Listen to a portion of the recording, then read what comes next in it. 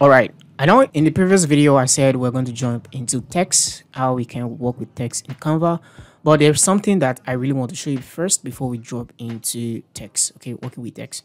Okay, you can see that this image on this background is working so well because it's blended where you can almost tell that it's there to a great degree, especially knowing that the image color kind of blend with the background to a great extent. Okay. But if you look at this, the same image on this background, you're finding the difficult. You can just tell somehow that this image is not part of this background, especially with this hair having this part here.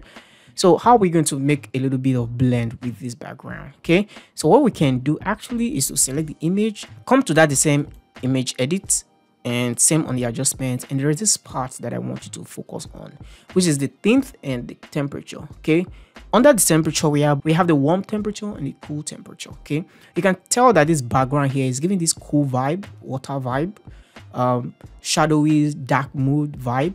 So what you can do to give this blend because not every time you'll be able to touch all this because touching all this depend on the background and how much you want the image to blend with the background so the first thing we can actually attempt to do is the temperature. Since the background temperature is cool, what we can do is to take down the temperature, okay? We're gonna make it a little bit cooler. So instead of the image being hot, you can see that some of the image, um, some of the colors in the image have been taken out and being turned to a little bit of blue, okay? So let's make it this way. And now we can actually come here. Some of the contrast now we can take it down because we don't want much contrast. And the highlights, we don't want it to be that high anymore. We just want to take it down, okay? because we want the image to blend. We don't want it to be hot, hot. Some of the whites, we can take it down because we want to give the image a little bit of feel as to being part of this. And for the shadows, we can take it down a bit. Okay. And as you can see that there, there's no difference, okay, in what we had before, okay?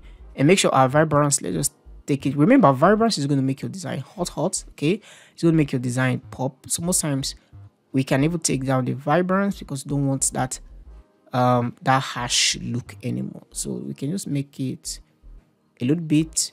Make sure that as you are sliding, you are looking at the image. Okay, it's not about the numbers here because at the end of the day, there's something you want to achieve. close this. There's something you want to achieve here always look at your design because your design is going to tell you okay i'm fine now i'm not fine okay? So that's one thing you can do. You can see that this one is working well and these two design the are not the same. Let me let me click on this. Let's check it out in the grid view. And you can see that these two image let me zoom in so you can see that properly. Um let me, let me take down down. Now you can see these two design. You can see this two design that this one is blending well with this background well though we still have this part here. Let me let me zoom out. There are other things you can actually do. Let me show you one trick. Double click on this. Whenever you're on that video double click on the image is going to come back to normal. So let me also zoom out. Let me zoom in. Then on here let's zoom in. So we're going to come here. Let's come to shape. So let's search for light okay search for light. We can use light to also achieve the same thing. Okay we having this one now which is actually a pro version. Let's see if we can see free one. Mm, we're not having any free one. Let's see.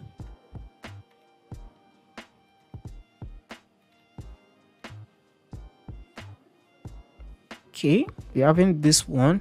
Okay let's use this one. This is red. So we're going to use the um the duotone to change the color. So let's come to duotone where is duotone where are you? Okay this is the duotone so we can come here. Okay it's actually a shape. So we can actually change this one. It's actually a shape. We can change the color. So let's pick the color of let's use this one now. Use the color picker and pick something from the background okay? So now we have it here like this okay? So we can actually place this one here in a way. Let's zoom in. And we can actually just take down the opacity. Okay. And you can make it big. Uh, let's see. Opacity that thing that's so small. Okay. So you can make a duplicate and just put it somewhere around the image in a way. Duplicate it. Uh something like this. I can also make a duplicate and just place it somewhere. Let's make it subtle okay? Not something harsh okay? And you can make it duplicate. Something like this.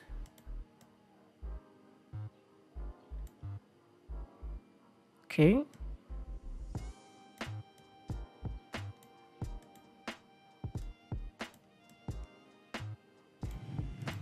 He's just going to take out those part there. And let's zoom out. So you can see let's take down some of this opacity because I can still feel them there. And just take down the opacity. Come here take down the opacity. And come here take down the opacity. Okay? So you can see that it's almost giving this subtle vibe of being in the background okay? You may you may be noticing this now because you saw me doing it okay? But in actual sense i can really just take one of them and make it real big. Let me hold on the alt key while i'm doing this. And sometimes you can just place it here and just take down the opacity this is going to just going to act like a frame okay? You can take it down very subtle four percent okay but it's also giving this blend feel okay? It may not actually be on the design but you can see that it's almost blended with the background now. So these are some of the subtle things you can do to up your design. Even on this one i can actually just come here and give a shift with the background by adding blur. You can click on blur you can see the whole image and just add a little tint of blur. So that it can it can look as if she's a little bit far from the background okay? And just click backwards and now we have this. He's going to make it look sharp and put that on the focus okay? Uh, this is almost not working. Maybe let's take down the blur let's come back to the blur and let's take it down. Let's take it down. I think i like it the way it was but let's just okay? So we have this. Nice. Okay so these are some of the subtle things that you can do in your design that can just up your game in editing images okay? And make the image blend well with the background. So thank you so much for watching and i'll see you in the next video. Bye